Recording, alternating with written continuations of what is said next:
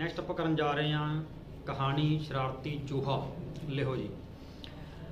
ਬੱਚਿਓ, ਜੰਗਲ ਵਿੱਚ ਇੱਕ ਹਾਥੀ ਰਹਿੰਦਾ ਸੀ ਡੰਡੀ ਜਿੱਥੇ ਹਾਥੀ ਰਹਿੰਦਾ ਸੀ, ਉੱਥੇ ਇੱਕ ਚੂਹਾ ਵੀ ਰਹਿੰਦਾ ਸੀ ਡੰਡੀ ਚੂਹਾ ਬਹੁਤ ਸ਼ਰਾਰਤੀ ਸੀ ਡੰਡੀ ਚੂਹਾ ਨਿੱਕਾ, ਵੱਡਾ ਨਹੀਂ ਵੇਖਦਾ ਸੀ ਡੰਡਿੰਗ।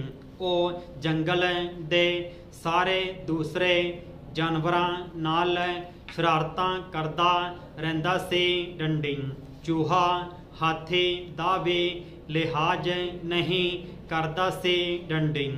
ਉਹ ਹਾਥੀ ਨਾਲ ਵੀ ਸ਼ਰਾਰਤਾਂ ਕਰਦਾ ਰਹਿੰਦਾ ਸੀ ਡੰਡਿੰਗ। ਚੂਹਾ ਸੁੱਤੇ ਪਏ, ਹਾਥੀ ਦੇ ਉੱਪਰ ਚੜ ਕੇ ਨੱਚਣ ਲੱਗ ਪੈਂਦਾ ਤੇ ਹਾਥੀ ਦੀ ਨੀਂਦ ਖਰਾਬ ਹੋ ਜਾਂਦੀ ਡੰਡੀ ਹਾਥੀ ਚੂਹੇ ਨੂੰ ਵਾਰ-ਵਾਰ ਸਮਝਾਉਂਦਾ ਡੰਡੀ ਹਾਥੀ ਉਸ ਨੂੰ ਸ਼ਰਾਰਤਾਂ ਤੋਂ ਬਾਜ ਆ ਜਾਣ ਲਈ ਆਖਦਾ, ਪਰ ਚੂਹਾ ਬਹੁਤ ਢੀਠ ਸੀ ਡੰਡੀ ਚੂਹਾ ਹਾਥੀ ਦੀ ਇੱਕ ਨਾ ਸੁਣਦਾ ਡੰਡੀ ਚਾਹੇ ਚੂਹੇ ਦੀ ਇਸ ਮਨਮਾਨੀ ਦਾ ਕਾਰਨ ਚੂਹੇ ਦੇ ਜੰਗਲ ਦੇ ਰਾਜੇ ਸ਼ੇਰ ਨਾਲ ਦੋਸਤੀ ਹੋਣਾ ਸੀ ਡੰਡੀ ਇੱਕ ਵਾਰ ਜਦੋਂ ਜੰਗਲ ਦਾ ਰਾਜਾ ਸ਼ੇਰ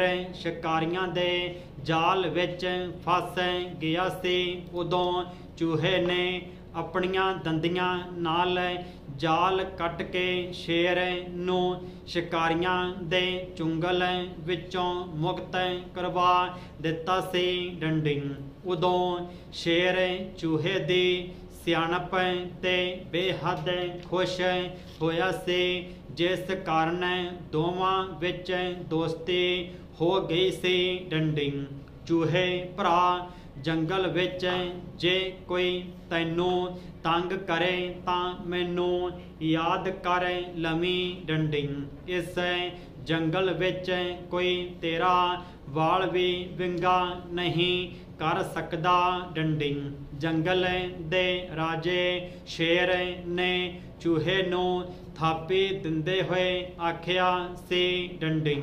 ਸ਼ੇਰ ਦੇ ਥਾਪੜੇ ਨਾਲ ਚੂਹਾ ਆਪਣੇ ਆਪ ਨੂੰ ਜੰਗਲ ਦਾ ਰਾਜਾ ਹੀ ਸਮਝਣ ਲੱਗ ਪਿਆ ਸੀ ਡੰਡੀ ਚੂਹੇ ਦਾ, ਉਲਟਾ ਚੋਰ ਕੋਤਵਾਲ ਨੂੰ, ਡਾਂਟੇ ਵਾਲਾ ਹਿਸਾਬ ਬਣ ਗਿਆ ਸੀ ਡੰਡੀ। ਉਹ ਜੰਗਲ ਦੇ ਸਾਰੇ ਜਾਨਵਰਾਂ ਨੂੰ ਤੰਗ ਕਰਦਾ ਸੀ ਡੰਡੀ। ਚੂਹੇ ਨੂੰ ਜਿਹੜਾ ਵੀ ਜਾਨਵਰ ਕੁਝ ਆਖਦਾ ਉਸ ਨੂੰ ਹੀ ਉਹ ਜੰਗਲ ਦੇ ਰਾਜੇ ਸ਼ੇਰ ਕੋਲੋਂ ਸਜ਼ਾ ਦਿਵਾਉਣ ਦਾ ਡਰਾਵਾ ਦਿੰਦਾ ਡੰਡੀ ਚੂਹਾ ਸ਼ਰਾਰਤੀ ਹੀ ਨਹੀਂ, ਬਲਕਿ ਚਲਾਕ ਵੀ ਬਹੁਤ ਸੀ ਡੰਡਿੰਗ। ਬਿੱਲੀ ਨੂੰ ਉਹ ਭੁੱਲ ਕੇ ਵੀ ਨਹੀਂ ਛੇੜਦਾ ਸੀ ਡੰਡਿੰਗ। ਬਿੱਲੀ ਨੂੰ ਵੇਖਣ ਸਾਰ ਉਹ ਖੁੱਡ ਵਿੱਚ ਵੜ ਜਾਂਦਾ ਸੀ ਡੰਡੀ ਚੂਹੇ ਨੂੰ ਪਤਾ ਸੀ ਕਿ ਬਿੱਲੀ ਉਸ ਤੋਂ ਵੀ ਫਰਤੀਲੀ ਹੈ ਤੇ ਬਿੱਲੀ ਨੇ ਝਪਟਾ ਮਾਰ ਕੇ ਉਸ ਨੂੰ ਦਬੋਚ ਲੈਣਾ ਹੈ ਡੰਡੀ। ਉਂਝ ਵੀ ਉਹ ਬਿੱਲੀ ਦੀ ਸ਼ਿਕਾਇਤ ਸ਼ੇਰ ਕੋਲ ਨਹੀਂ ਲਾ ਸਕਦਾ ਸੀ ਕਿਉਂਕਿ ਬਿੱਲੀ ਸ਼ੇਰ ਦੀ ਮਾਸੀ ਸੀ ਡੰਡੀ ਭਰਾ। ਚਲਾਕ ਤੇ ਸ਼ਰਾਰਤੀ ਚੂਹਾ ਹਾਥੀ ਨੂੰ ਸਭ ਤੋਂ ਵੱਧ ਤੰਗ ਕਰਦਾ ਸੀ ਡੰਡੀ। ਚੂਹਾ ਚੰਗੀ ਤਰ੍ਹਾਂ ਜਾਣਦਾ ਸੀ ਕਿ ਭਾਰਾ ਸਰੀਰ ਹੋਣ ਕਰਕੇ ਹਾਥੀ ਸਭ ਜਾਨਵਰਾਂ ਤੋਂ ਘੱਟ ਹੈ ਫਰਤੀਲਾ ਹੈ ਡੰਡਿੰਗ ਇਸ ਲਈ ਹਾਥੀ ਉਸ ਦਾ ਕੁਝ ਨਹੀਂ ਵਿਗਾੜ ਸਕਦਾ ਸੀ ਡੰਡੀ ਚੂਹਾ ਸੁੱਤੇ ਪਏ ਹਾਥੀ ਦੇ ਪਿੱਠ ਤੇ ਚੜ ਕੇ ਨੱਚਦਾ ਟੱਪਦਾ ਡੰਡੀ ਫਿਰ ਉਹ ਭੱਜ ਕੇ ਦਰਖਤ ਉੱਤੇ ਚੜ ਜਾਂਦਾ ਡੰਡੀ ਹਾਥੀ ਨੂੰ ਚੂਹੇ ਤੇ ਬਹੁਤ ਗੁੱਸਾ ਆਉਂਦਾ, ਪਰ ਉਹ ਚੂਹੇ ਦਾ ਕੁਝ ਨਹੀਂ ਵਿਗਾੜ ਸਕਦਾ ਸੀ ਡੰਡੀ ਉਹ ਵਧੇਰੇ ਫਰਤੀਲਾ ਹੋਣ ਕਰਕੇ ਹਾਥੀ ਦੇ ਕਾਬੂ ਨਹੀਂ ਸੀ ਆ ਸਕਦਾ ਡੰਡੀ ਹਾਥੀ ਤੰਗ ਆ ਕੇ ਕੋਈ ਅਜਿਹੀ ਤਰਤੀਬ ਸੋਚਣ ਲੱਗਾ, ਜਿਸ ਨਾਲ ਚੂਹਾ ਉਸ ਨੂੰ ਹੀ ਨਹੀਂ, ਹੋਰ ਜਾਨਵਰ ਜਾਨਵਰਾਂ ਨੂੰ ਵੀ ਤੰਗ ਕਰਨਾ ਛੱਡ ਦੇਵੇ ਡੰਡਿੰਗ। ਹਾਥੀ ਕਈ ਦਿਨ ਸੋਚਦਾ ਰਿਹਾ ਡੰਡੀ, ਕਈ ਦਿਨ ਸੋਚਣ ਤੋਂ ਬਾਅਦ ਹਾਥੀ ਨੇ ਚੂਹੇ ਨੂੰ ਸਬਕ ਸਿਖਾਉਣ ਦੇ ਜੁਗਤ ਬਣਾਹੇ ਲਈ ਡੰਡੀ। ਹੁਣ ਹਾਥੀ ਬਿੱਲੀ ਦਾ ਇੰਤਜ਼ਾਰ ਕਰਨ ਲੱਗਾ ਡੰਡੀ ਬਿੱਲੀ ਕਦੇ ਕਦਾਈ ਹੀ ਇਧਰ ਗੇੜਾ ਮਾਰਦੀ ਸੀ ਡੰਡੀ ਕਈ ਦਿਨਾਂ ਬਾਅਦ ਜਦੋਂ ਬਿੱਲੀ ਆਈ ਡੰਡਿੰਗ। ਬਿੱਲੀ ਨੂੰ ਵੇਖ ਕੇ ਚੂਹਾ ਭੱਜ ਕੇ ਖੁੱਡ ਵਿੱਚ ਵੜ ਗਿਆ ਡੰਡਿੰਗ। ਚੂਹੇ ਨੂੰ ਖੁੱਡ ਵਿੱਚ ਵੜਦਿਆਂ ਵੇਖ ਕੇ ਹਾਥੀ ਦੀ ਖੁਸ਼ੀ ਦੀ ਕੋਈ ਸੀਮਾ ਨਾ ਰਹੇ। ਡੰਡੀ ਚੂਹੇ ਨੂੰ ਨਸੀਹਤ ਦੇਣ ਲਈ ਉਸ ਦੇ ਬਣਾਈ ਸਕੀਮ ਨੇ ਹੁਣ ਰੰਗ ਵਿਖਾਉਣਾ ਸੀ। ਡੰਡੀ ਹਾਥੀ ਭੱਜ ਕੇ ਆਪਣੀ ਸੁੰਡ ਛੱਪੜ ਚੋਂ ਪਾਣੀ ਨਾਲ ਭਰ ਲਿਆਇਆ ਡੰਡੀ। ਹਾਥੀ ਨੇ ਚੂਹੇ ਦੇ ਖੋਡੇ ਪਾਣੀ ਨਾਲ ਭਰਨੀ ਸ਼ੁਰੂ ਕਰ ਦਿੱਤੀ ਡੰਡੀ।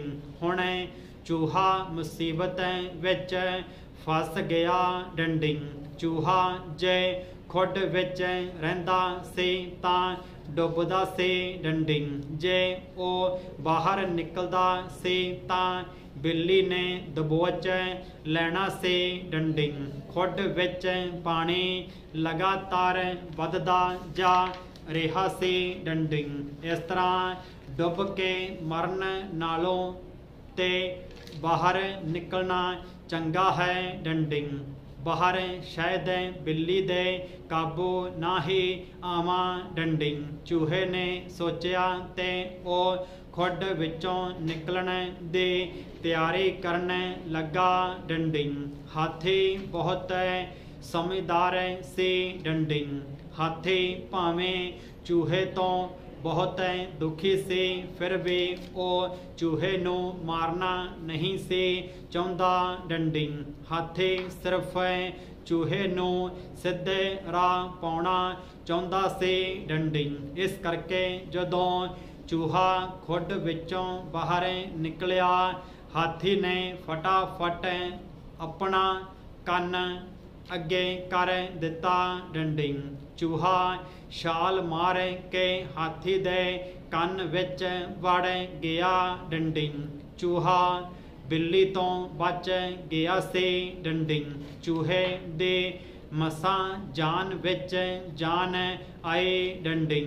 ਚੂਹੇ ਨੇ ਕੰਨਾਂ ਨੂੰ ਹੱਥ ਲਾਇਆ ਡੰਡੀ ਉਸ ਨੇ ਅੱਗੇ ਤੋਂ ਕਿਸੇ ਵੀ ਜਾਨਵਰ ਨੂੰ ਤੰਗ ਨਾ ਕਰਨ ਦਾ ਫੈਸਲਾ ਕਰ ਲਿਆ। ਡੰਡੀ।